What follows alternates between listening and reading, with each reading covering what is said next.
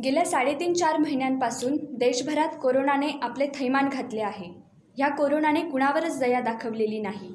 सामान्य नागरिक ते मोठमोठे मंत्री ह्या कोरोनाच्या लपेटात आलेले आपण बघतोय. आणि ह्याच कोरोनाच्या भिंगरीत आता इगतपुरीचे आमदार हिरामण खोसकर सापडले आहेत. गेल्या दोन दिवसांपूर्वी आमदार खोसकर यांचा वाहन चालक कोरोना पॉझिटिव्ह आला. आणि त्यानंतर त्यांच्यावर प्रश्नांचा भाडीमार सुरू झाला.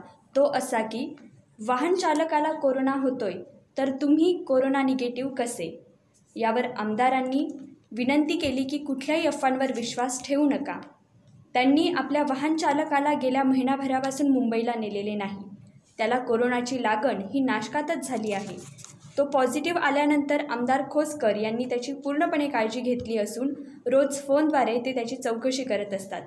तसेच सध्याला आमदार खोसकर हे आपल्या शेतात शेतीची कामं करताना दिसत आहेत. मी जे काही गेल्या दोन दिवसापासून जो काय गैरसमज समज या ठिकाणी झालेला आहे परंतु खरोखर माझा डायव्हर मंगेशजी जावळे याला कोरोना पॉझिटिव्ह आला.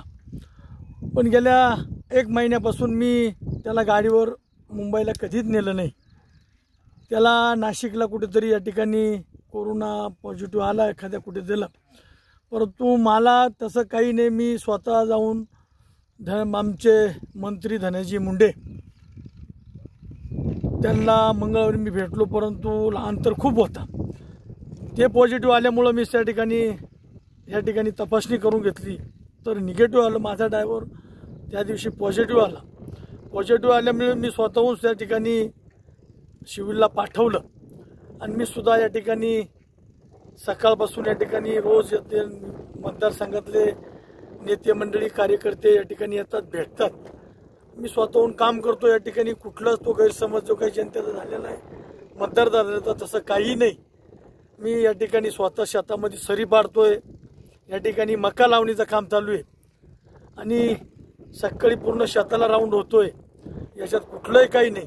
माझी विनंती आहे जे काही अपोह आहे त्याच्यावर जनतेने काही विश्वास ठेवू नये. कोरोनाच्या परिस्थितीत आपल्या मतदारसंघातील कामांना मंजुरी मिळवून देत त्यांचे मतदारसंघाकडे काटेकोर लक्ष आहे.